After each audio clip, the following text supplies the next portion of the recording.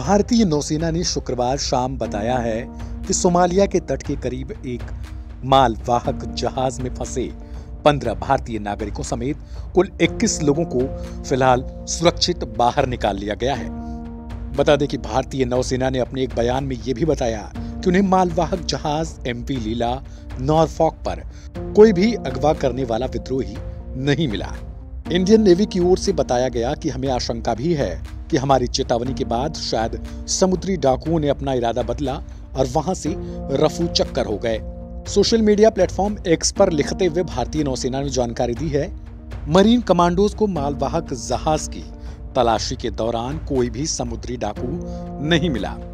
नौसेना ने अंदेशा जताया कि ऐसा लगता है कि भारतीय नौसेना की चेतावनी के बाद हाईजेक करने वालों ने अपना इरादा बदला और वहाँ से वे भाग गए। नेवी ने यह भी जानकारी दी कि आईएनएस चेन्नई अभी भी मालवाहक जहाज़ के करीब है और उस जहाज़ को बिजली बहाल करने का प्रयास कर रहा है ताकि अब जहाज़ अपने अगले गंतव्य की ओर जा सके। बता दें कि इससे पहले ही भारतीय नौसेना का युद्धपोत I N S Chennai M V Lila Norfolk को बचाने के लिए रवाना हुआ था। जैसे ही अधिकारी वहाँ पहुँचे, उन्होंने सख्त लहजे में चेतावनी दी कि अगर लुटेरे वहाँ से जहाज़ को छोड़कर नहीं जाते हैं तो फिर उनका अंत कर दिया जाएगा। मीडिया रिपोर्ट्स की माने तो अधिकारियों ने ये जानकारी दी है कि एम वी लीला नारफॉक पर मौजूद सभी भारतीय फ़िलहाल सुरक्षित हैं। इधर एएनआई के मुताबिक इस ऑपरेशन में भारतीय नौसेना के मरीन कमांडो शामिल थे। नौसेना का एक हेलीकॉप्टर भी एमवी लीला नॉरफॉक पर निगरानी रख रहा था। बता दें कि गुरुवार को यह खबर आई थी कि 15 भारतीय क्रू वाले एमवी लीला नॉरफॉक को सोमालिया के तट के किनारे समुद्री डाकुओं ने अगवा कर लिया। इसके बाद भारतीय नौसेना ने अरब सागर में लाइबेरियाई के झंडे वाले व्यापारिक जहाज़ की ओर अपने युद्धपोत आईएनएस चेन्नई को रवाना कर दिया था।